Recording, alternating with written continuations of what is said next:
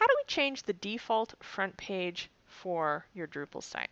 Um, and why might you want to do that? Well, so far, okay, so far what we've been doing is we've been publishing articles here, and all these articles are showing up kind of in you know, on the front page in reverse chronological order with that exception of that article that we made sticky up here.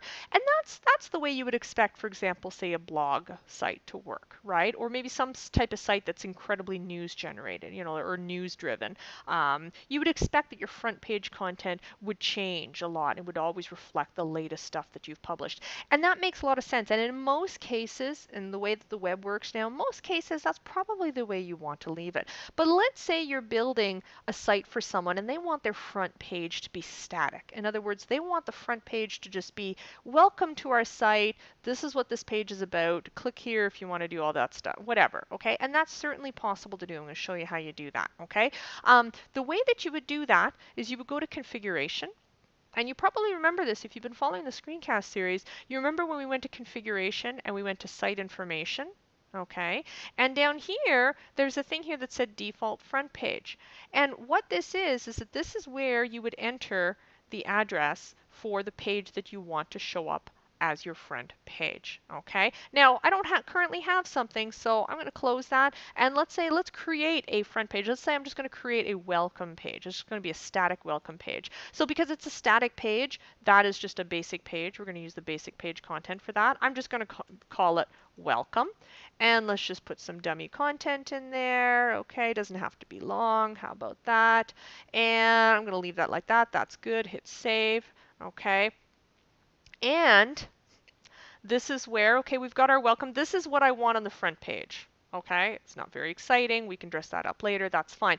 And here we see, remember when we've talked about aliases and URLs and things like that? Um, this content is node slash six, six because it's the sixth piece of content uh, that we created. But I certainly wouldn't expect you know, I wouldn't expect to be able to remember that. Um, so wouldn't it be useful if we actually change this, let's to and gave it an alias, something logical like welcome, because I'm actually going to remember that. So let's change that. I'm going to go down to URL path settings, and I'd just like to create a little alias that just says welcome. Okay, and so now this makes a lot more sense to me. Okay, the front page is just going to be called welcome. Okay, um, so that's good. Welcome is what we want. If we go back to the home page, currently front page is just showing a default that feed of articles. Let's go change that. Let's say that our client or whatever has requested that the front page be a static page. I'm going to go to configuration. And remember, we went to site information.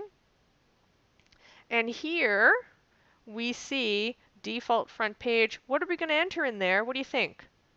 Yeah, we're going to just put the word welcome because that's the alias we created. We could have put node slash six, that would have worked as well too, but I'm not very good remembering numbers. So we're going to scroll down, save configuration, and okay, let's see if, okay, it tells us configuration options have been saved. Let's close this, let's see what happens.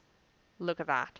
Okay, I'll just go back to the front page, get rid of that, that hashtag, and our front page now says welcome. Okay, where did our feed go? Where did all our articles go? Oh well, we, the articles haven't haven't disappeared. They're just not accessible right now. Again, because we haven't really built any navigation. We will be talking a lot about building navigation in future screencasts. But um, but suffice it to say, don't worry, your content is still there. Let's click on the content button. See, all your articles are still there. They're all still there, okay? They haven't disappeared. It's just that you can't access them right now, okay?